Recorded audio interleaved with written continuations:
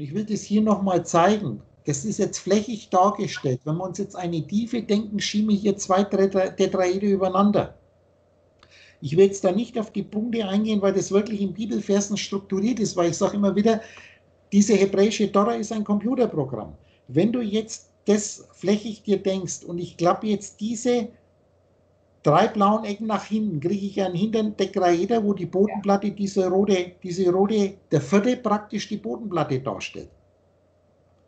Und wenn ja. ich jetzt die drei Eckchen hier drinnen auch nach hinten, Haar hinten klappe, ist hier die Spitze. Ja. Das wäre jetzt genau das hier.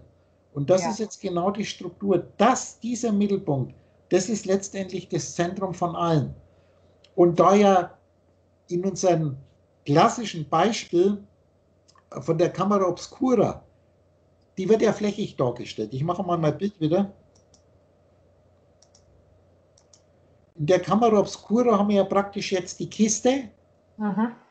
Das ist das Intern, das musst du dir jetzt am Punkt vorstellen. Aber ja. es ist, wir müssen zwangsläufig, wenn wir Vorstellungen machen, müssen wir uns was ausdenken. Mhm. Und wir wissen im klassischen Sinn jetzt bezogen, das sind ja zwei flächige Bilder. Das heißt, wir haben außerhalb der Kiste haben wir ein Bild auf dem Kopf stehen und Spiegelverkehr. Das ist aber das Phänomen, wenn du ein Dreieckspiegel, wenn du ein Katzenauge hast. Ja.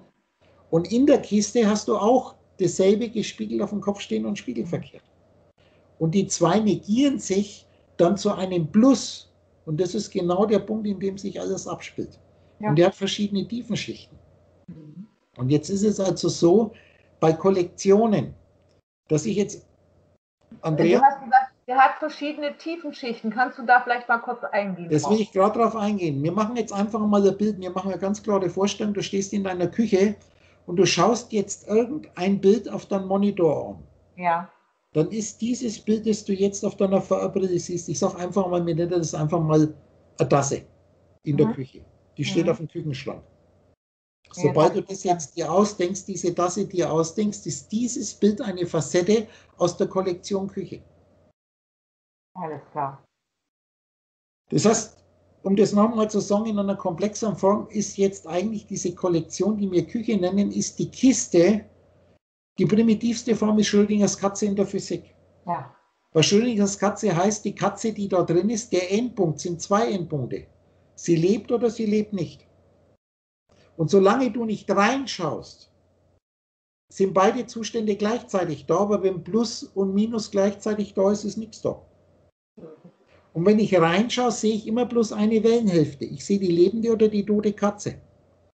Jetzt mache ich das komplexer. Ich sage jetzt in der Kiste ist keine Katze drin, sondern viele, viele Punkte. Das sind die Bilder, die du abrasterst, wenn du dich jetzt um dich herum deine Küche denkst. Du setzt dich in die Mitte deiner Küche, ins Zentrum dieser Kollektion und du veränderst deine Blickwinkel. Wir sind bei dem Prinzip, dann siehst du die Küche, dann siehst du den Kühlschrank. Das heißt, sobald du in die Kiste reinschaust, bist du ja, die Kiste ist hüttig, du bist ja immer der Mittelpunkt, hüttig das ein und dann hast du irgendeine Perspektive. Mhm. Und das Bild, das du jetzt siehst, das du anfokussierst, ist eine Facette aus dieser Kiste, die wir jetzt Küche nennen. Was aber das Problem ist, dass ich sage, du kommst dann irgendwann ins Chat denken, weil mhm. das Wort Küche alleine beinhaltet zwar unendlich viele Bilder, das geht dann so weit, dass zum Beispiel in dieser Kiste Küche noch andere Kisten drin sind. Das nennen wir jetzt einfach mal irgendein Schränkchen oder Schublade. Mhm. Und sobald du den Schrank aufmachst, schaust du in der Kiste in eine Kiste rein, wo dann erst wieder Bilder existieren.